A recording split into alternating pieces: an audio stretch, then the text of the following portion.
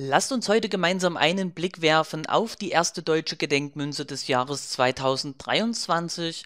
Dabei handelt es sich um die 20 Euro Gedenkmünze Hans im Glück. Wenn euch dieses Video gefällt und ihr mehr davon sehen wollt, lasst gern ein Abo da, liked das Video, teilt das Video. Würde mich sehr freuen, wenn ich euch hiermit begrüßen kann.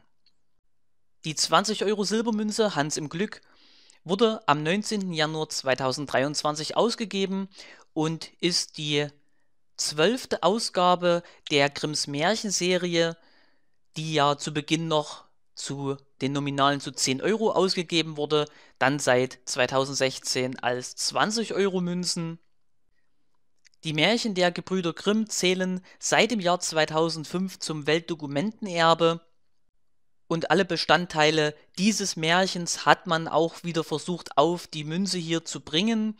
Man sieht im Vordergrund mattiert Hans im Glück und im Hintergrund mehr oder weniger stilisiert dargestellt seine Tauschobjekte, das Pferd, die Kuh, das Schwein, die Gans und den Stein, sowie auf der rechten Seite den Brunnen im Hintergrund.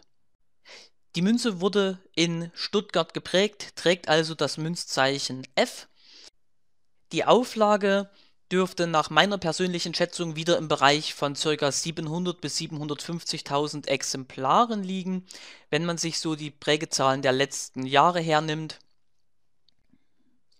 Die Münze besteht wie immer aus 925er Silber, hat dabei ein Gewicht von 18 Gramm, also 16,65 Gramm Feinsilber sind da enthalten. Der Durchmesser beträgt 32,5 mm. Die Randschrift der Münze lautet: Ich muss in einer Glückshaut geboren sein. Der Entwurf dieser schönen Münze stammt von Michael Otto aus Rodenbach.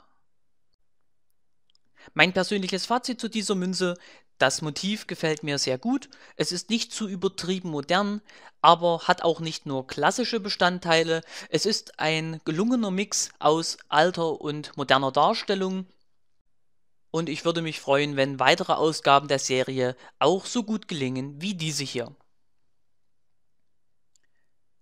In diesem Sinne, ich bedanke mich fürs Zusehen bei dieser Kurzvorstellung, hoffe das Video hat euch gefallen und bis zum nächsten Mal. Tschüss!